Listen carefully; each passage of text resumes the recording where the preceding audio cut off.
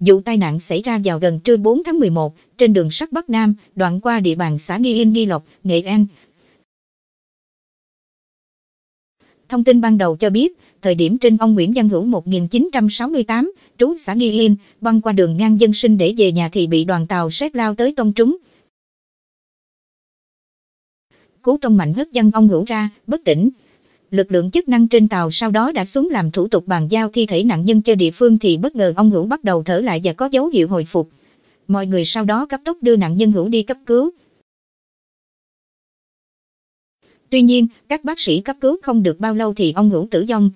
Hiện thi thể ông Hữu được đưa về nhà để mai táng. Lãnh đạo công ty cổ phần đường sắt nghệ tỉnh cho biết, nhân viên Hữu làm việc tại gác chắn cung cầu cấm được mấy năm nay. May hôm nay nhân viên Hữu xin nghỉ làm để xử lý việc riêng gia đình. Quá trình đi xử lý việc riêng thì gặp nạn thương tâm. Hiện cơ quan đã xuống thăm hỏi, động viên gia đình.